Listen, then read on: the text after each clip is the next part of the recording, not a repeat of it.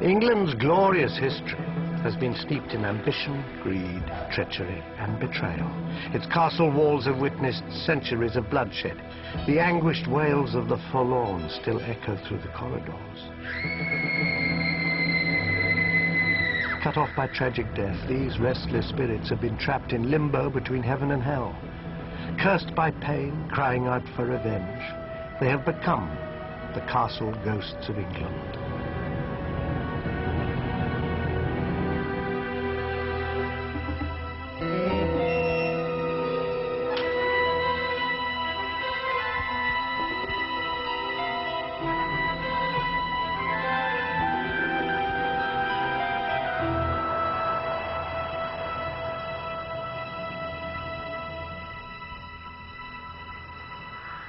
You believe in ghosts?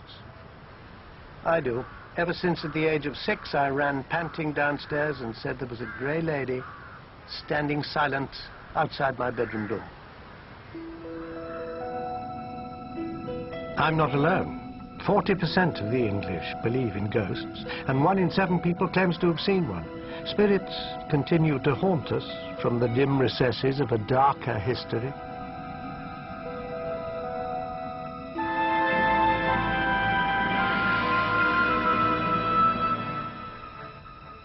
Manifestations of the paranormal have many names in Britain. Wraiths, spunkies, shagrins, church grims, hags of the dribble. From the ancient druids to Dickens' A Christmas Carol, spirits have been a palpable presence in the English landscape.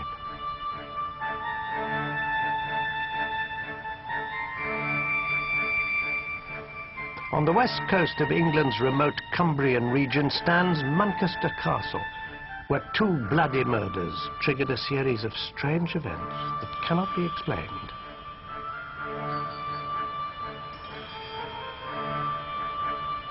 This rugged and beautiful landscape has echoed to the gruesome cries of the inhabitants of Muncaster Castle. Its walls loom over the treacherous quicksands of the River Esk in the valley below. In 1464, King Henry VI, that rather pathetic royal victim of the Wars of the Roses, fled from defeat at the Battle of Hexham and was found wandering confused and dazed in woods not far from here. The castle owners, the Pennington family, took him in and gave him shelter, and the king, who had very few possessions left, gave them in return his drinking vessel. This Venetian glass bowl, which became known as the Luck of Muncaster. As long as the bowl is unbroken, the family will keep the castle. So far they have, and the bowl remains unbroken. But the luck of Muncaster didn't rub off on others who lived here. For today the castle is plagued by eerie hauntings, odd happenings, and disturbing manifestations. The present owner of the castle is Patrick Gordon Duff Pennington.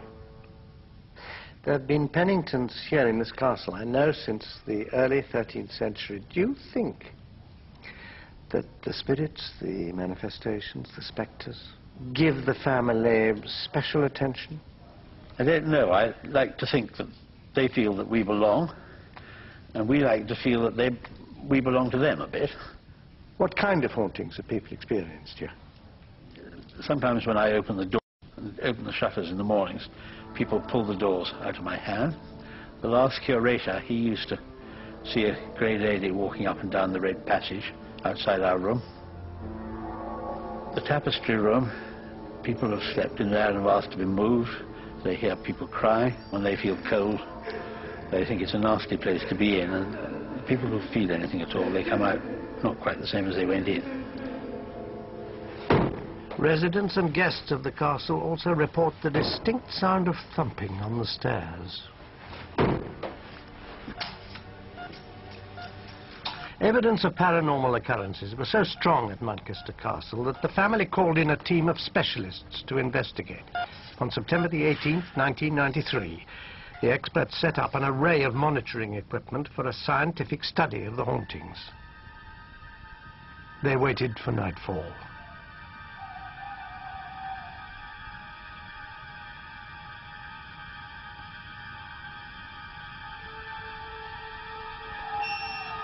At 10.40 p.m., the investigators felt the temperature drop dramatically.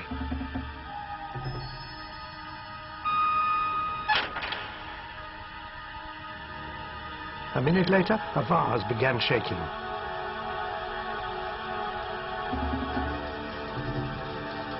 Then a loud thud was heard, followed by three raps. The investigators noticed a movement past the door.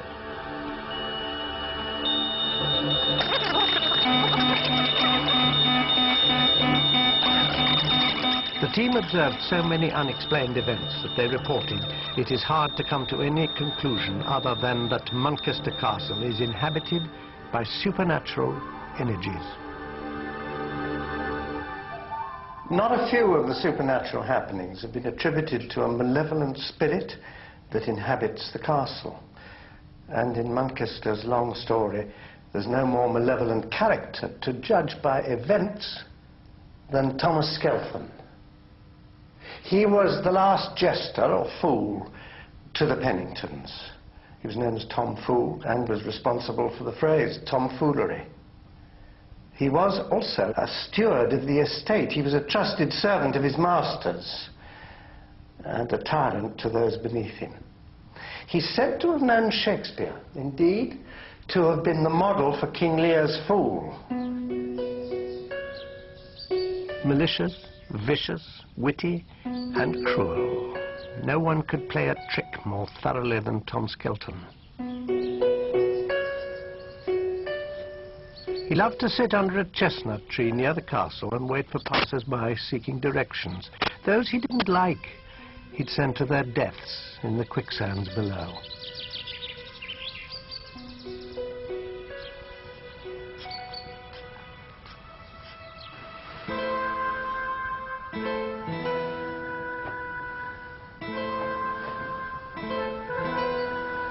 1585, a scandal broke around the daughter of the castle lord. Helwise Pennington earned her name as a fiery, passionate and fatally headstrong young lady. Although betrothed to the son of a powerful neighbouring family, Helwise fell in love with the village carpenter.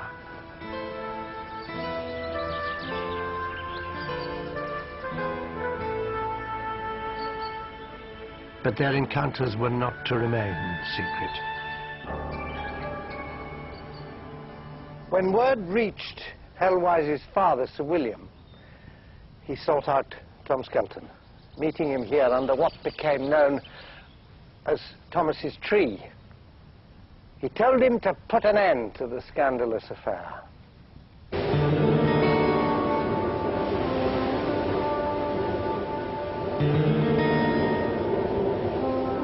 Skelton summoned the carpenter to the castle under the pretence that he was to meet his beloved Helwise. Once there, he plied the carpenter with cider until he was drunk and insensible.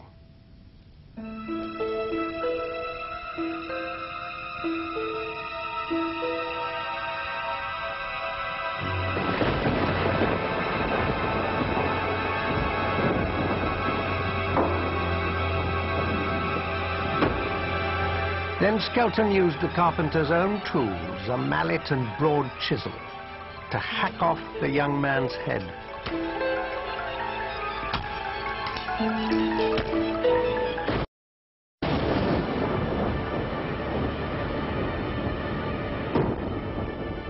He was heard to say, when the lazy dolt wakes up, he'll have trouble finding his head.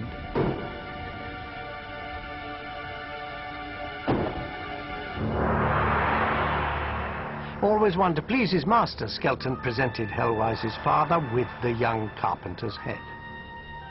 History does not record Sir William's reaction.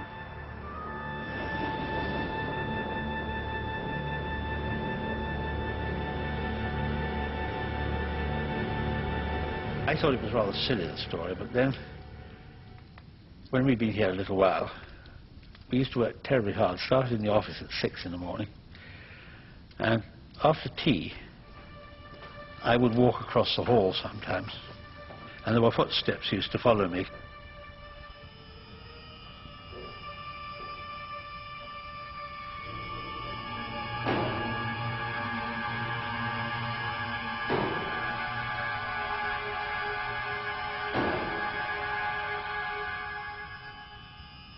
You don't think it could possibly have been an echo?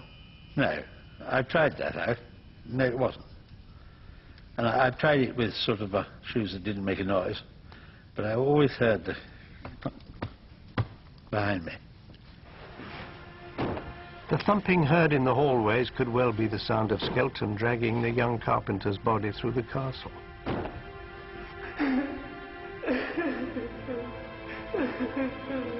and the mournful crying? Could it be Helwise weeping over her murdered lover?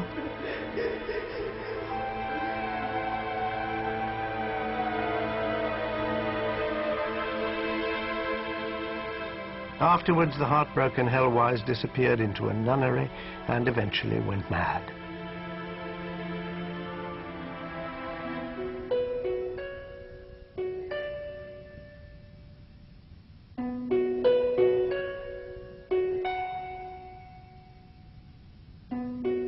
As for Thomas Skelton, he never paid for his crime, but fate has a way of meting out justice. He drowned in the River Esk. Is Muncaster still haunted by the presence of Tom Fool, waiting to play one last trick?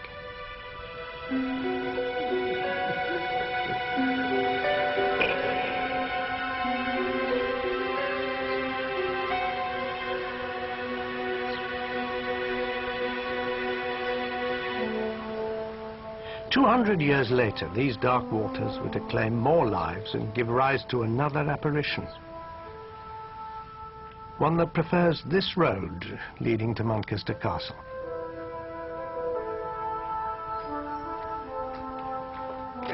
Good morning. Grace Simmons, an employee of the castle, has seen the ghost. It'd be about October in 1985 that uh, I'd been out for a night and coming back up the road, driving up the road with my husband. And just come around the corner. And I saw this lady standing. She was leaning against the wall.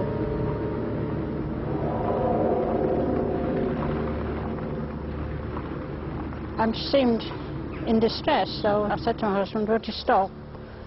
And I'll get out the car and go back and make sure she's all right. And yeah, we went back. When I got back to the corner, she'd gone.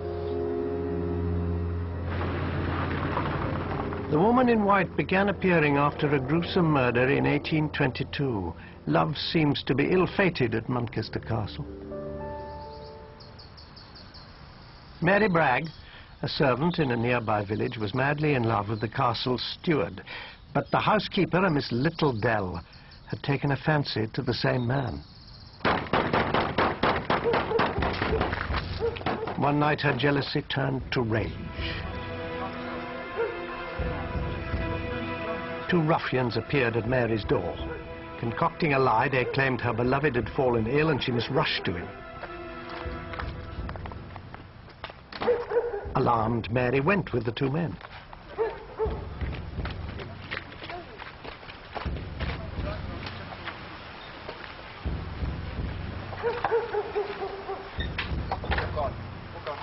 She never made it to her lover's side.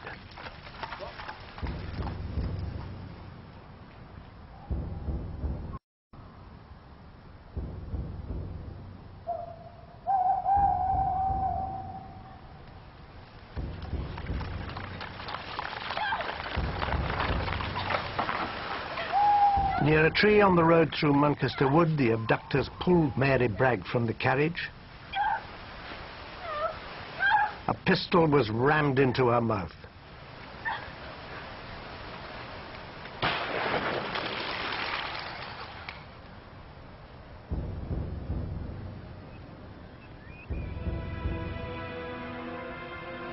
But poor Mary's body had more indignities to suffer. To get rid of it, the murderers left it in a field for the castle dogs to devour. When that failed, they tried to find a hiding place.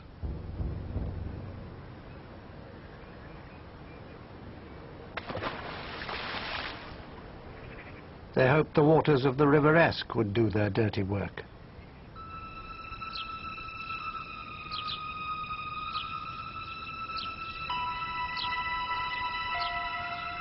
But Mary Bragg's body refused to stay hidden.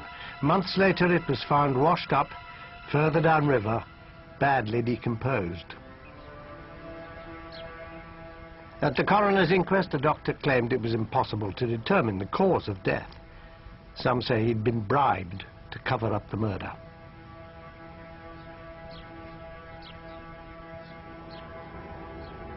But those involved with Mary Bragg's murder did not escape their fates. They met with bizarre ends. One of her assassins went insane, another was hanged as a highway robber. Mary's rival, Miss Littledale, who had hired the killers, became the subject of rumor and suspicion. Eventually, she was banished to a remote village where she was shunned as a murderess. The doctor at the inquest drowned in the River Esk not a hundred yards from where Mary's body had been dumped.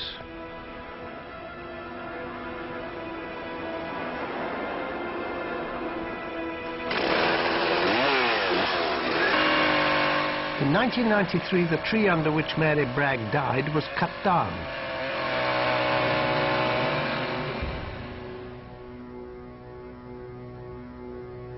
The timber was reputed to be cursed. Blood began to ooze from the cut logs.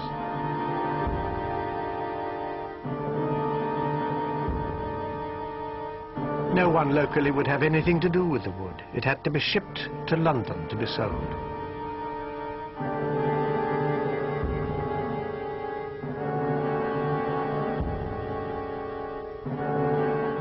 The apparition of the woman in a long white dress was seen on the very spot where the tree stood.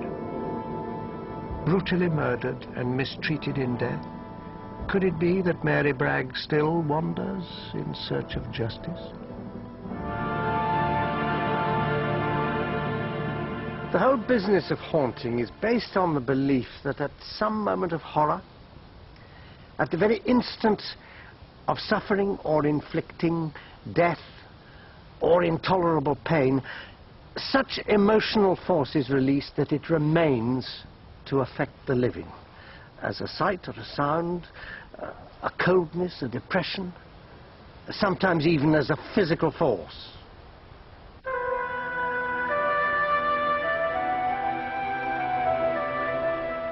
No unearthly presence is more powerful than one that haunts Sudeley Castle in the southwest of England.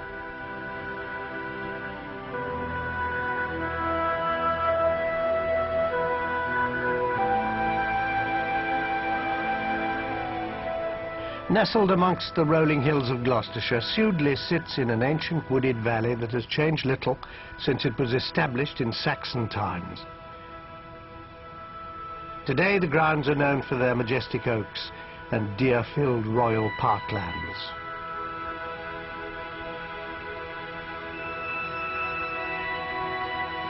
Sudeley Castle began as an extravagant royal wedding present in the 10th century. Went on to be owned by a succession of kings, including Richard III and Henry VIII. Despite its pastoral beauty, Sudeley Castle has a history of otherworldly events including the chilling discovery of the strangely preserved corpse of a queen. Some say these incidents can be traced back to a tragic event resulted in an apparition which still haunts Sudeley Castle to this day.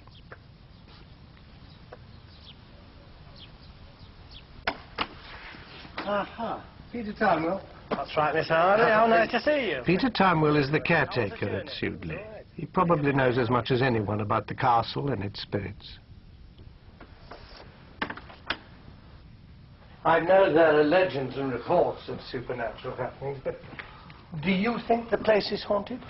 Yes, I do. I get the general feeling, and so do members of staff and visitors, that there is something there. Employees report strange sights and sounds in the castle. The smell of an apple-scented perfume, the frequent forlorn sobs of a child, and the appearance of a tall, beautiful woman in a long green dress. Uh, The mystery of the lady in green is the key to the hauntings at yes. As Peter took me further into the castle, her presence appeared to become ever more tangible. This is the castle nursery. What a beautiful room. Feels very calm. Ah, but this is where most of the castle hauntings are taking place. Can you account for that? Well, I put it down to our Katie, Who's Katie? Queen Catherine Parr. And this is her. Catherine Parr was a striking figure. Nearly six feet tall, with auburn hair. She was intelligent and artistic, a lover of music and poetry. She is famous for being Henry VIII's sixth and last wife. Catherine Parr managed to keep her head and outlive him. Catherine always had a passion for this man, Thomas Seymour. He was handsome, selfish, a buccaneer, a political adventurer. He was determined to be near the crown. After Henry VIII died in 1547, Seymour proposed to his daughter, Princess Elizabeth. When she refused, he turned to the king's widow, Catherine. They were married later the same year and came to live here at Sudeley.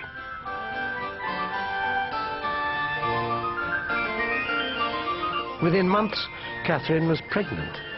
At the age of 35, it must have seemed a miracle, and everyone in the castle prepared for the birth with excitement and celebration. Sudeley's great banquet hall echoed with parties, music, dancing, and laughter.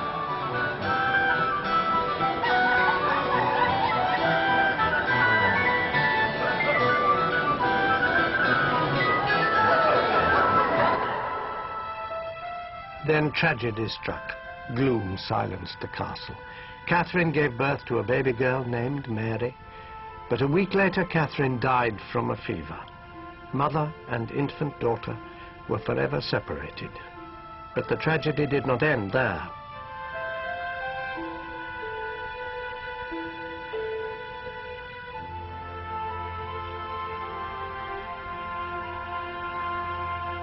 With Catherine barely dead, Thomas Seymour abandoned his newborn daughter and headed for London. Thomas Seymour went straight to Princess Elizabeth's bedroom and proposed to her for the second time. And the 15-year-old had the good sense to turn him down again. Undeterred, off he went and asked her half-sister Mary. She too turned him down. Thomas Seymour's lust for power in the end was to prove his undoing. Indeed, he was beheaded for treason. And when he died, Princess Elizabeth wrote, This day died a man of much wit and very little judgment.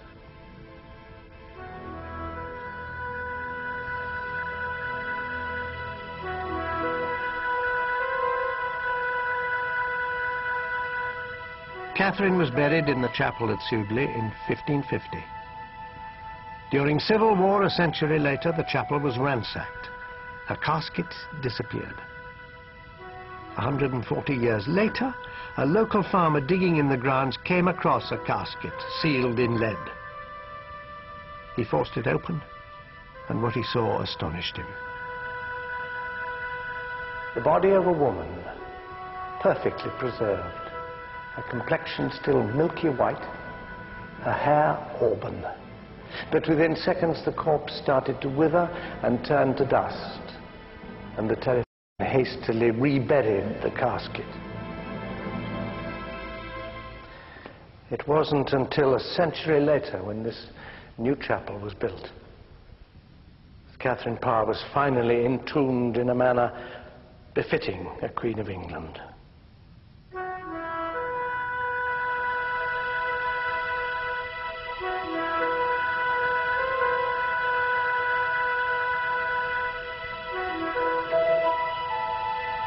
Catherine Parr's spirit was not to rest. Margaret Parker, who's worked here at the castle for 23 years, is the latest witness to the Queen's return. Must be about nine years ago. In the middle of winter, the castle was all locked up, and it was just five girls and myself cleaning. And it was an artist upstairs in Catherine Parr's room painting. Knowing the woman artist was about, Margaret Parker wasn't surprised when she saw a figure standing in the window. Morning. But the artist had only just come down from the nursery.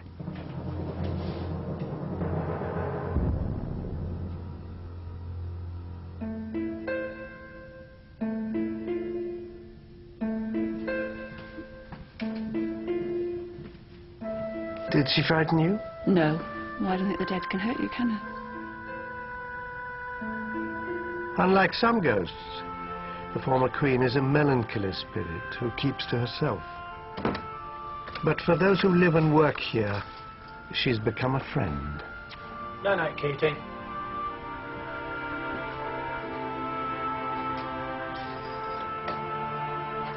After Catherine's death, her daughter Mary mysteriously disappeared from history. No one knows what became of the unfortunate little orphan.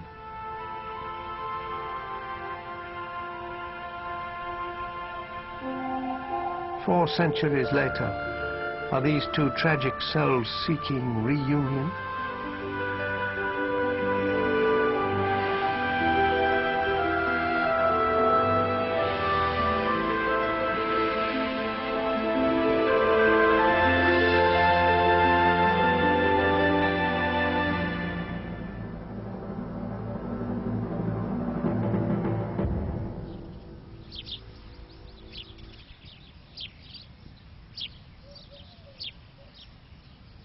If to purge itself of sorrow, Sudeley lay in ruins for 180 years.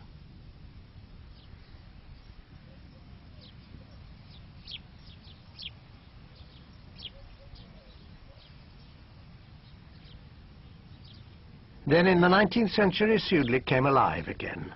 Restored to its former glory, it was once again a home. But with a new generation of owners came a new occupant from the spirit world.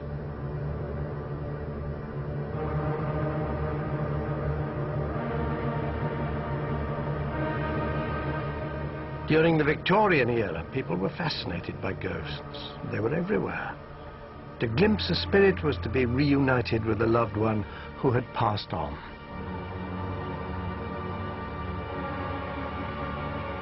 It seems only natural that a Victorian apparition is behind Sudeley's latest haunting, a haunting that has been witnessed quite recently.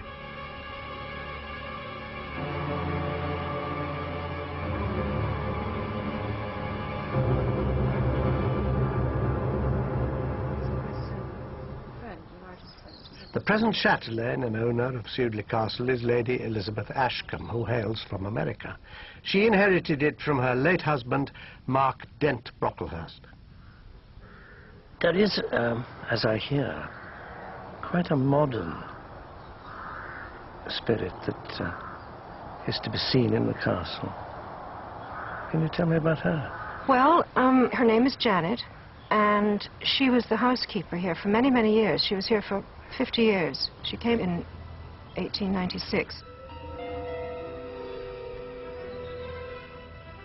My late husband, Mark, used to tell me stories about her when he came home from school, that she was still here, and everyone still terrified of her, and she was still ruling the roost with the iron glove.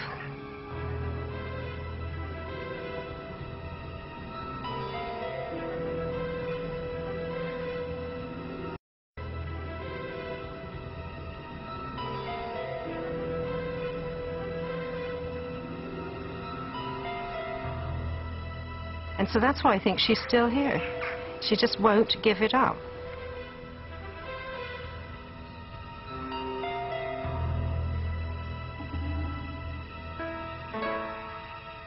The upkeep of a grand Victorian household such as Sudeley required armies of servants, housemaids, footmen and gardeners, all had their allotted place in the hierarchy.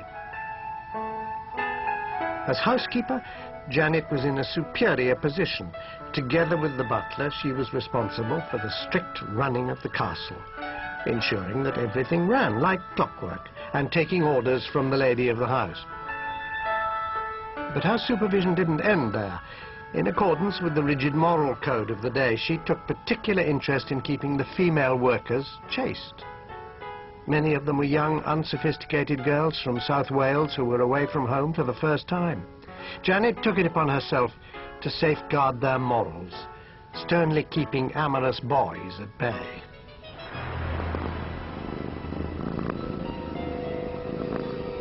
It was said that at night Janet stood watch at the top of the stairs, protecting the virtue of her housemaids. Even today, death has not loosened Janet's hold over her domain. Young girls who enter Sudeley seem to attract the housekeeper's attention. As one teenager found out in the summer of 1993 when she was on a tour of the castle.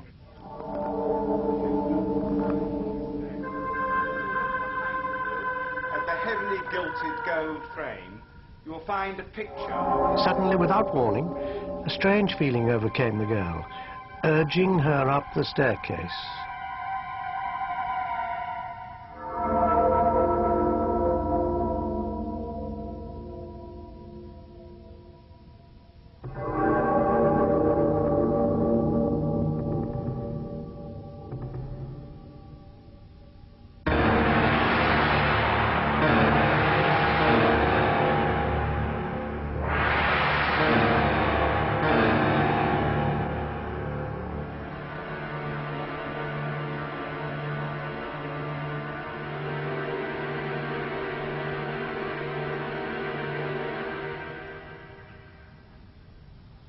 Run into her face to face?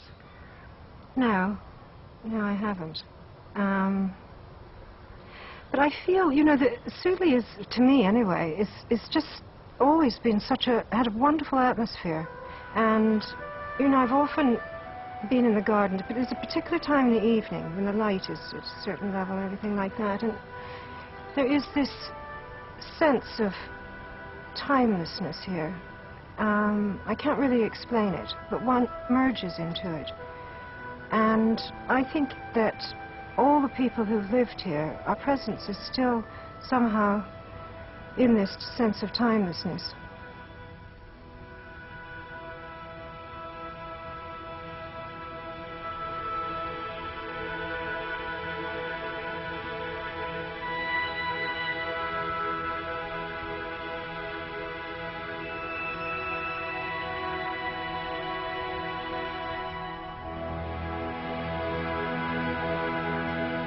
If Sudeley's ghosts seem to linger out of duty or longing, that is not the case with our next castle. There, the letting of blood has spawned a legion of anguished spirits, for this is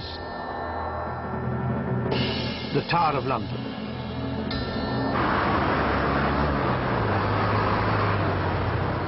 For almost a thousand years, this revered landmark has been at the center of the grand drama that is English history. It is said, he who holds the tower holds the power. Good morning, ladies and gentlemen. Welcome to the Royal Palace and Fortress of Her Majesty's Tower of London, the largest and oldest permanently occupied fortress in Europe. It covers over 18 acres, took 200 years to build. It comprises of 20 towers, not one. Probably the best known, although one of the smallest, is the Bloody Tower, here behind you.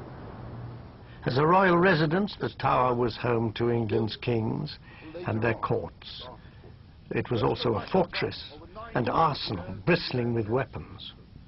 The Royal Mint was located here, and to this day, the magnificent crown jewels are still under guard within the tower walls. Had smite the small town called Hastings. He defeated the Saxon army. On the theory that one should keep one's friends close but hold one's enemies even closer, dangerous foes of the state were kept here as prisoners.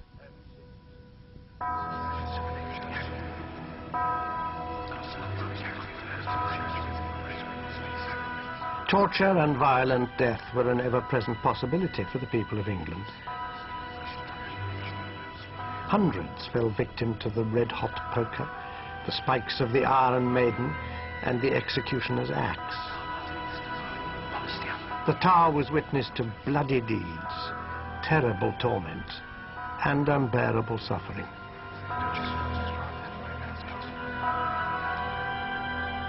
Have a very good day to you.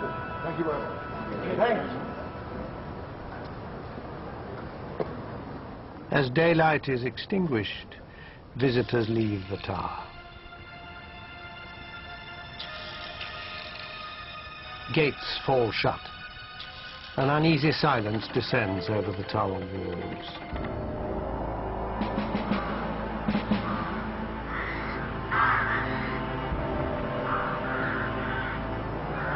As the ancient stage for dramas of cruelty, ambition and revenge, the tower is said to be the most haunted castle in England.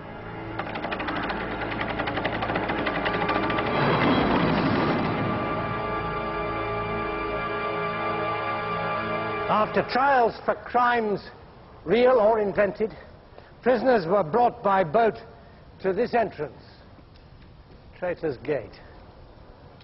Then under guard, the condemned were led into the tower grounds. The ravens watched them pass. Legend has it that as long as the ravens stay, the tower will stand, and England will remain unconquered.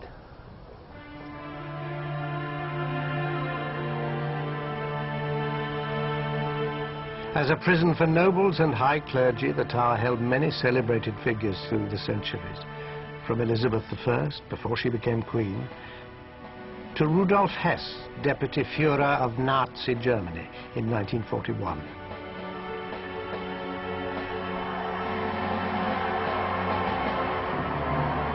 High-ranking prisoners condemned to die were led to Tower Green to meet the final axe. Commoners were led outside the walls to be hanged, burnt at the stake or beheaded, providing cheap entertainment for bloodthirsty Londoners.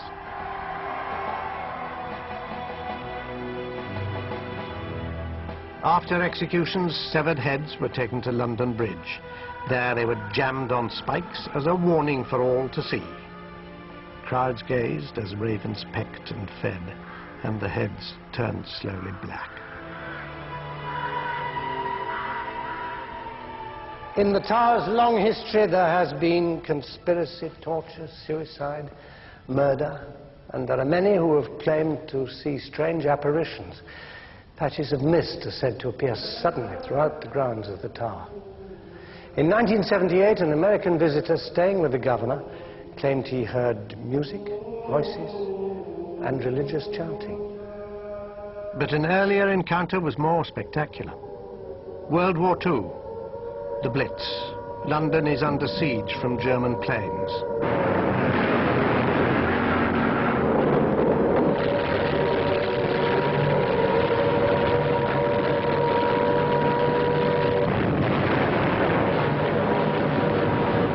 The tower on the River Thames is not far from the docks and factories in the east end of London, the target of the attack.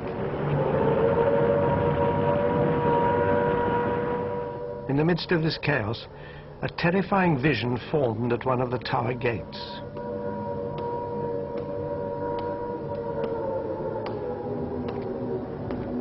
It was the autumn of 1940. A soldier was standing guard. He was completely unprepared for what was about to happen.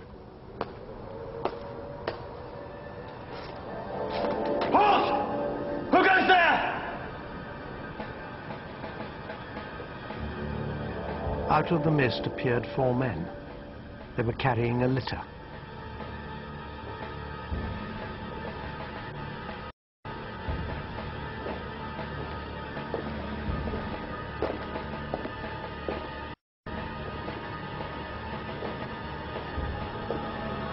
As they neared, the soldier could see a figure under a blood-stained blanket.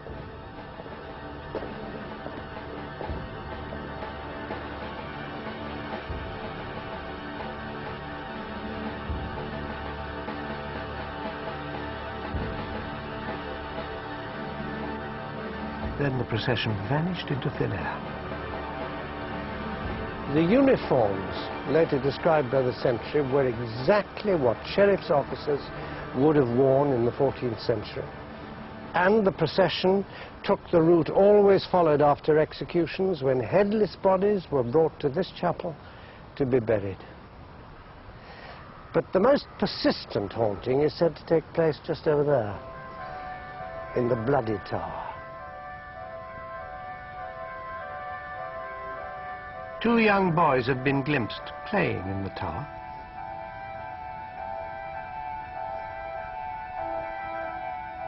They are believed to be the spirits of two princes, nine-year-old Richard and the heir to the throne, 12-year-old Edward, the victims of a shocking crime. The boys were nephews of Richard III, England's favourite villain. Richard's enemies described him as malicious, wrathful, envious, little of stature, crook-backed. Still a controversial figure 500 years after his death.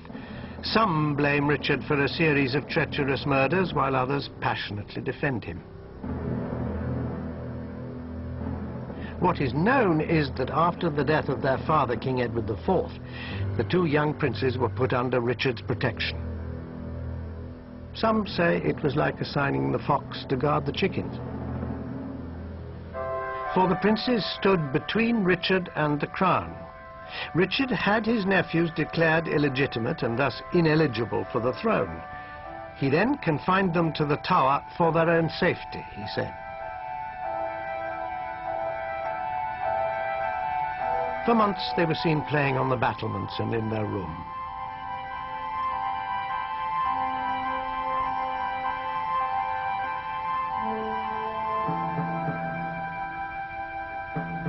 But suddenly, in the autumn of 1483, the two boys disappeared, never to be seen again. No one knows exactly what happened, but with his nephews out of the way, the last obstacle between Richard and the throne was removed, allowing him to be crowned King of England. Forty years later, Sir Thomas More, himself later executed at the Tower, described in a book what he believed to be the fate of the boys.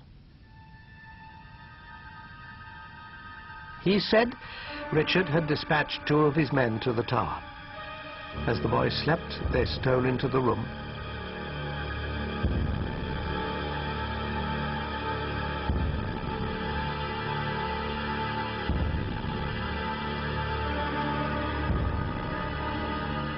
Then they smothered the two sleeping princes. More wrote, they gave up their souls unto the joys of heaven, leaving to the tormentors their bodies dead in the bed.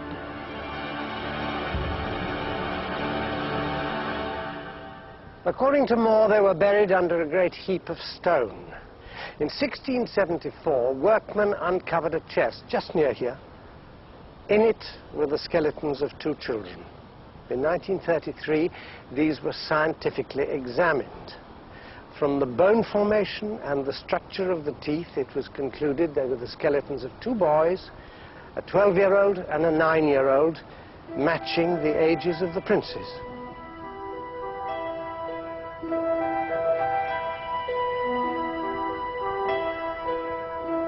As befitting a future King of England and his brother, the two small bodies were interred at Westminster Abbey. But their hapless spirits linger in the bloody tower.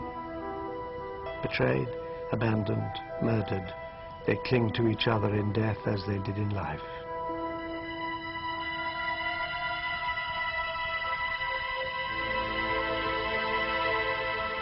The ghosts of the two little princes are reminders of the ruthless history of Britain's early monarchy. And the spirit that appears in this area of the tower is connected to another king's murdered determination. These rooms are the home of a particularly gruesome apparition.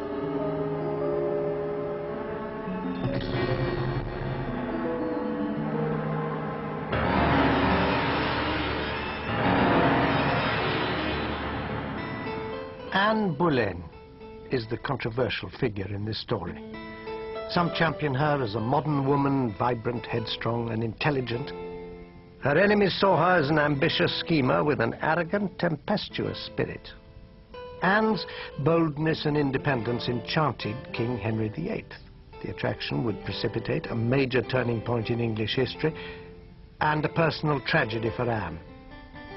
The king was married to Catherine of Aragon but after 22 years she failed to produce a male heir. For the young flirtatious Anne Boleyn, it was easy to bewitch the king. He pined for her. He wrote her passionate love letters. Matters came to a head when she became pregnant.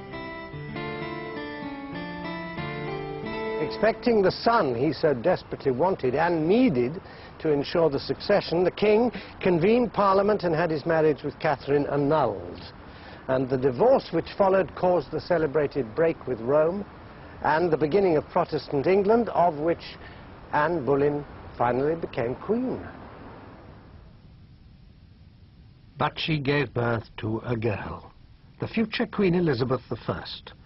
Her second child, a longed-for boy, was stillborn. Henry grew tired of waiting for Anne to produce a son. His passions were aroused by a young lady in waiting, Jane Seymour. Where Anne had been the other woman, she was now the aggrieved wife. Anne had become an obstacle to Henry's dynastic ambitions. She had many enemies in court. Rumours of witchcraft, adultery, treason, even trumped-up charges of incest with her brother gave Henry the opportunity he needed. Anne was arrested and taken to the Tower. Tried and found guilty, she was sentenced to be executed.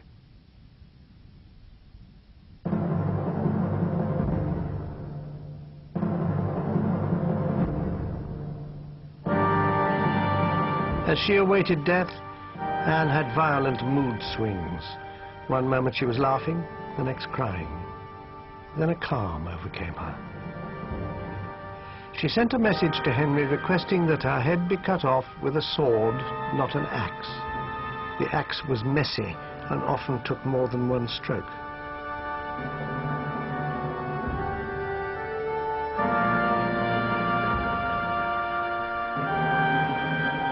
The morning of May the 19th, 1536. A flock of scavenging ravens gathered to watch as Anne Boleyn was led into the courtyard of Tower Green. When the inevitable moment came, the executioner readied the sword behind her back.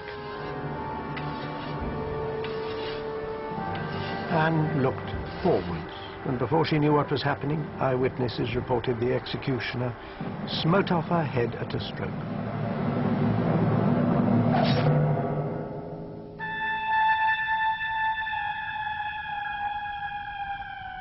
Major General Geoffrey Field is Governor of Her Majesty's Tower of London.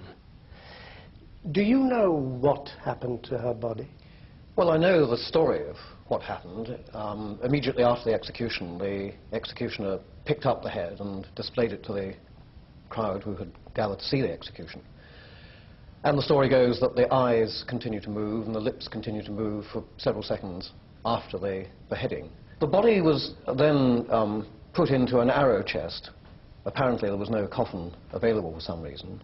Uh, put into an arrow chest with the head tucked under her arm, and she was then buried in the chapel of St. Peter ad Vincula, which was immediately behind the execution site.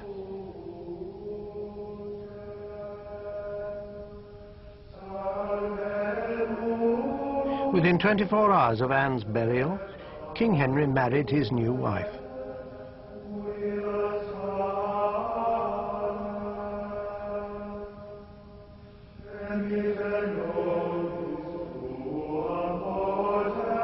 But headstrong in life, Anne Boleyn's spirit was not to be denied by death.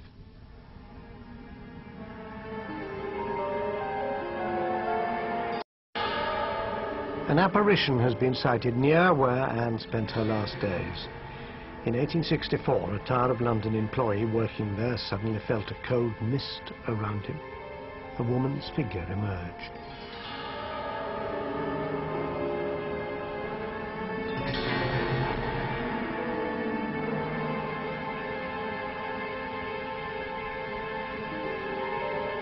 As the worker stood watching in wonder, the figure turned towards him. But where a face should have been, there was nothing.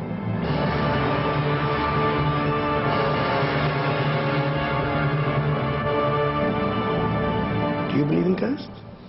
There are things which happen to people. They haven't happened to me, but they've happened to my wife, for example, and other people I know uh, in the tower, which are difficult to explain um, by any sort of normal physical explanation.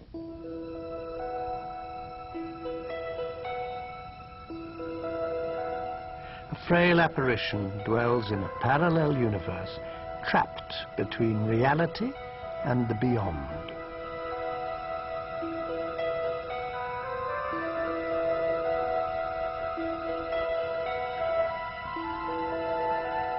Are these restless souls condemned for eternity to walk this blood-stained earth, tormenting the human psyche?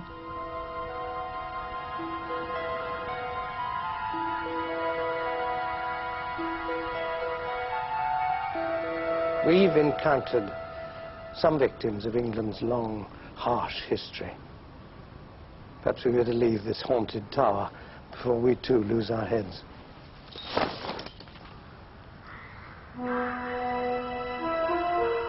Have we persuaded you that the castle ghosts of England are real?